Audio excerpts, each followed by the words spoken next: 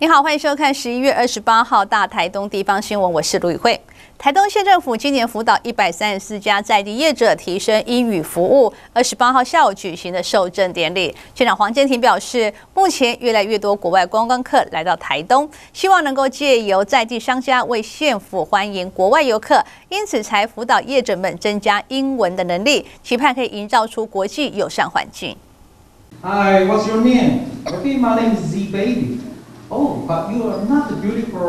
台东在地业者在县府大礼堂上说着一口流利的英文，为了营造国际友善环境，今年特别辅导了一百三十四家在地业者来提升英语能力。在二十八号下午举行受证典礼，县长黄建林表示，台东目前有许多外国观光客来游玩，不过只能交给在地商家来代表县府来欢迎他们，因此就有英语的辅导，与外国游客能够有友好的交流。国际化是一个一个一个 process，is a long process。啊，它需要它需要很多面向、很多方面、很长时间的努力，才有办法真正建构一个呃国际化的城市。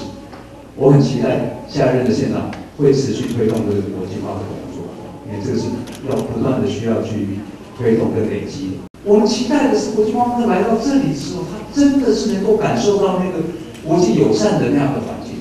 啊，我知道我们的台东的人、台东的业者都很友善。这个我从各种不同的的老外的反应告诉我，我已经知道是这样。可是除了很友善之外，如果也能够简单的讲几句对话，英语的对话或者日语的对话，那该有多好啊！现在虽然话还不太通，他们都已经觉得，哎呦，你们真的很很亲切、很友善。如果这样的话能够多少啊，基本的能够讲，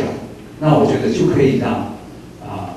台东的形象啊，对外国人来讲还要再更好。我们的指示路标啊，我们的各种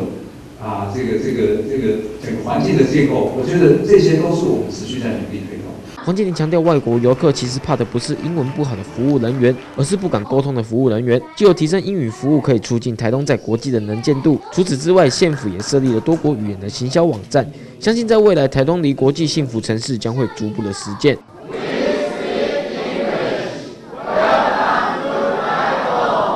记者陈珊台中市报道。